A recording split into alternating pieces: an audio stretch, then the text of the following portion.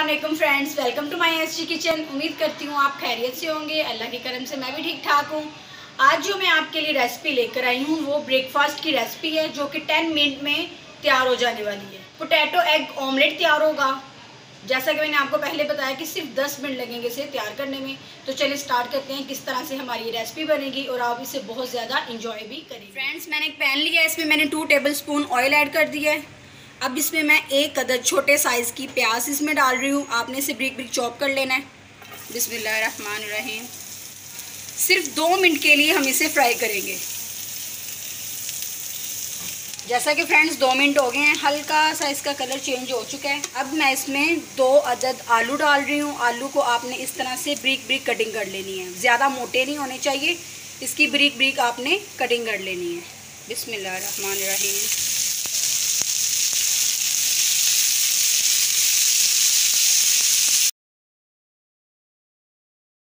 जैसा कि आलू का कलर चेंज हो चुका है। इसमें मैं हाफ़ टी स्पून कुटी हुई लाल मिर्च ऐड कर रही हूँ। हाफ़ टी स्पून इसमें नमक ऐड करेंगे। अब हम इसे तीन मिनट के लिए पका लेंगे, ताकि हमारे आलू कच्चे ना रहें। फ्रेंड्स आलू हमारे तैयार हो चुके हैं। अब हम इसे डिश आउट कर फ्रेंड्स एक बोल में सबसे पहले दो अदद अंडे तोड़ेंगे। बिस्मिल्लाहिर्रहमानिर्रहीम। अब इसमें डालेंगे दो अदद सब्ज़ मिर्च, ब्रिक ब्रिक कटी हुई। नमक हंसबे ज़रूरत डालेंगे। हाफ़ टी स्पून इसमें कुटी लाल मिर्च डालेंगे। अगर आप स्पाइसी खाना पसंद करते हैं तो आप इसमें मज़ीद मिर्च भी ऐड कर सकते हैं। हाफ़ टी स्पून काली मिर्च पाउडर। अब इसे अच्छे से फेंट लेंगे। जो आलू हमने फ्राई किए थे, अब मैं इसमें वो डाल रही हूँ। थोड़ा सा इसमें धनिया ऐड करेंगे। अब हम इसे अच्छे से फेंट लेंगे। इसे हम पैन में फ्राई कर लेंगे। फ्रेंड्स, मैंने टू टेबल स्पून ऑयल लिया है। ऑयल जैसा कि हमारा गर्म हो चुका है। अब जो बैटर हमने तैयार किया था, इसे फ्राई कर लेंगे। बिस्मिल्लाहिर्रहमानिर्रहीम। अब हम इसे एक मिनट के लिए बस पकाएँगे, क्योंकि आलू तो हमारे ऑलरेडी तैयार थे।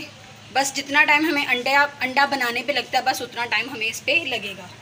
तो एक से दो मिनट के लिए नीचे से फ्राई करेंगे, फिर हम इसकी साइड चेंज कर देंगे। अब हम इसकी साइड चेंज कर देंगे।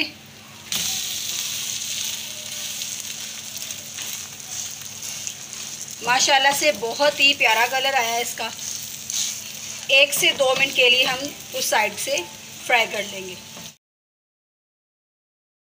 देखें फ्रेंड्स माशाल्लाह से ऑमलेट हमारा तैयार हो चुका है। इसे आप पराठा भी कह सकते हैं। बहुत ही मज़े का है बहुत ही शानदार है। आप इसे ज़रूर ट्राई कीजिएगा।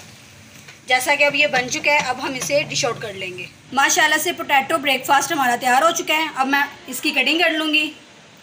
बिसमीम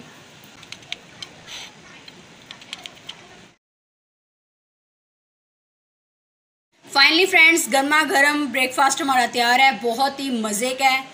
आप भी इसे ज़रूर ट्राई कीजिएगा और मुझे कमेंट बॉक्स में बताइएगा कि आपका ब्रेकफास्ट कैसा बना। आप इसे ज़रूर ट्राई करें, सबका दिल जीत लेंगे आप।